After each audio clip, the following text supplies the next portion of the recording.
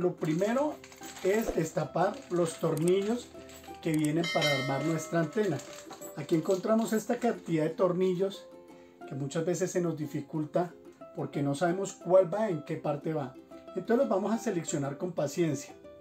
Este, este largo, con este y estos pequeños que están aquí.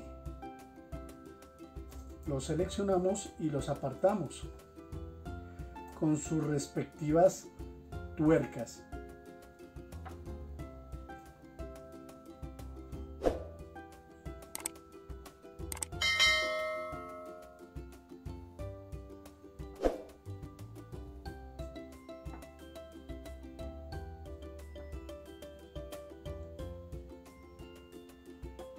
De esta forma los tenemos ya completamente seleccionados los tornillos.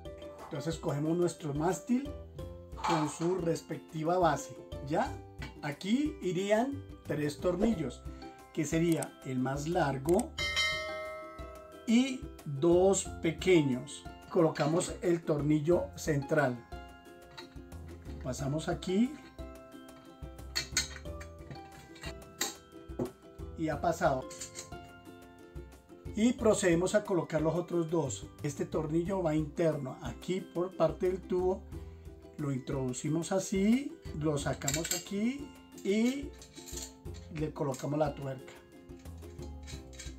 Colocamos el tornillo aquí, lo pasamos por dentro del tubo, sale aquí y le colocamos la tuerca.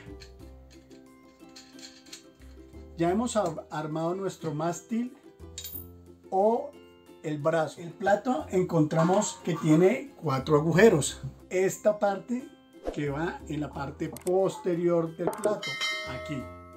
Le colocamos el tornillo, las cabezas van en el frente, cogemos este otro para esta parte de aquí y ya tenemos armado nuestro plato. Aquí encuentran ustedes una parte cuadrada y introducimos el tornillo más largo de los dos que nos han sobrado. Y listo tenemos nuestra antena armada. Viene el LNB Infocus y va con este tornillo de arriba hacia abajo. Y se inserta así. Cuando se le coloque el cable antes no. Y ya queda nuestra antena armada. Para poder ajustar las tuercas de nuestra antena necesitaremos una llave número 11.